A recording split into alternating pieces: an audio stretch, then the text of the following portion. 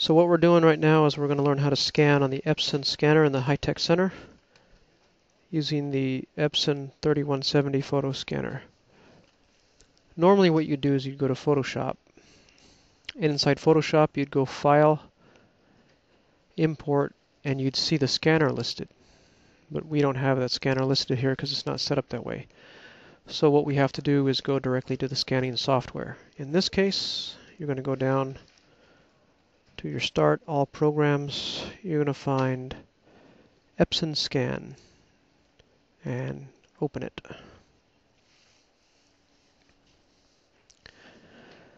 Okay, now when this pops up, you're going to uh, usually get something that looks like this. It's going to say full auto mode. And unless you've scanned here and changed it, that's what you're going to get.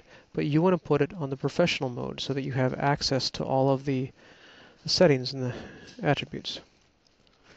So what we need to do first actually is we need to figure out the size of our image and uh, how big it is by inches and then we'll use Photoshop to calculate what it is uh, our resolution needs to be.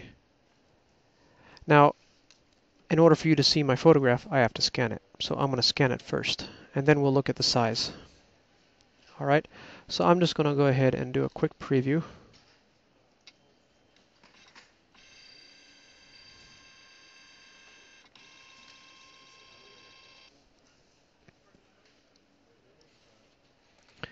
Okay, so here we have a picture of some people at a dinner. going to zoom in, or I'm going to kind of mark out this area. Now when I mark out the area, in this case, see I can come down and I can see how big it is. 2 inches, 2, 2.15 inches by 2.22 inches. About, you know, I'll make it a little bit bigger actually. So, so if I want this image to fit inside of an 8 by 10, then uh, in this case, the 8 is going to bump up against it. So I'm going to take this I'm just going to take these 2.26 by 2.56 that is, and then I'm going to use those numbers to figure it in. So what I'm going to do right now is going to go back to Photoshop. We're going to create a dummy file. Con file, new. It's going to be, you're going to make it 8 inches. Make sure it says inches and not pixels. 8 inches by 10 inches at 300 pixels per inch hit OK. So we have our target resolution, our dummy file. We're just using this as a calculator. So what we're going to do is go into our image and image size.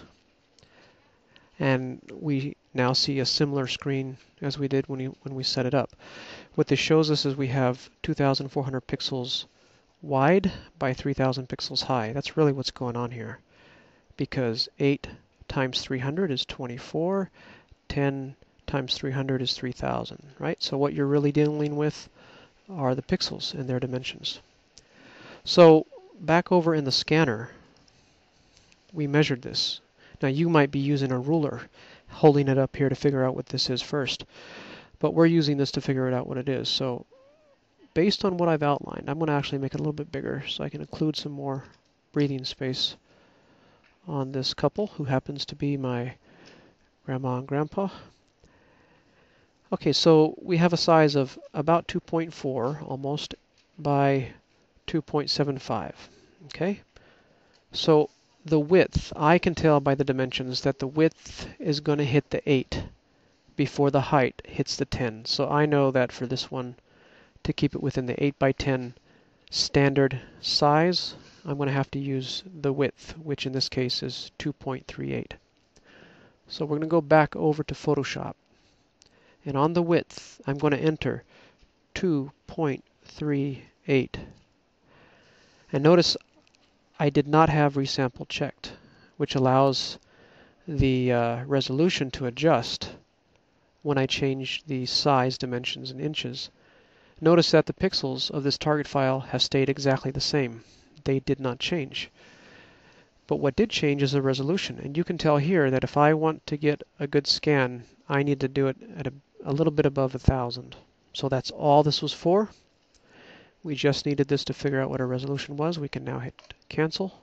We can even close this file because we don't need it anymore.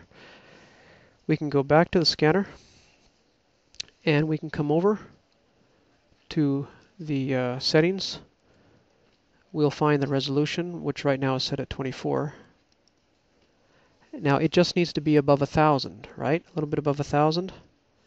So actually a thousand ten or whatever. Now this is 1200. That will work. That's correct. Now if it said I needed it to be at 1300, this 1200 wouldn't work, and then I would go ahead and scan at 2400. But 1200 is going to work just perfect. Now a lot of times when you first go into this program, the scanning software, some things are going to be automatically set. And if you noticed when I defined the area to scan, it adjusted the exposure. And that's okay. Auto exposure is on right over here. But what's not okay is a lot of times the unsharp mask filter or another one of these may be on like this and you do not want that on. You want to make sure you go here and uncheck it if it's turned on because that will perform a filter, a degrading filter on your scan before you even get it into Photoshop. And if you want to do a an unsharp mask, you want to do it intentionally on purpose in Photoshop. You don't want it to be arbitrary. So now that I have my resolution, got my area defined, it's a little bit bigger than what I need, which is just perfect. Now we're going to go hit scan. And because of the way this is set up, it's not going to scan directly into Photoshop. If you're doing this at home and you are able to go file import, it will scan directly into Photoshop and then you'll be able to work in Photoshop. You might have to close your scanning software first. So what we have to do is we have to save it as a TIFF, not as a JPEG at this point because we don't have a Photoshop format to save it in, but TIFF is a lossless compression scheme, which means you won't lose any quality. If you save it as a JPEG, you're going to lose quality, and I'm going to see it, and it's going to be obvious. You got to save it as a TIFF before it goes into Photoshop and then you'll save it as a Photoshop document once it's in Photoshop. So here I'm going to give it just a name, um, uh, grand for grandparents. Okay, so I'm going to go. Um, doesn't let me browse. So I guess right here it's saving it to my pictures inside of my my H drive.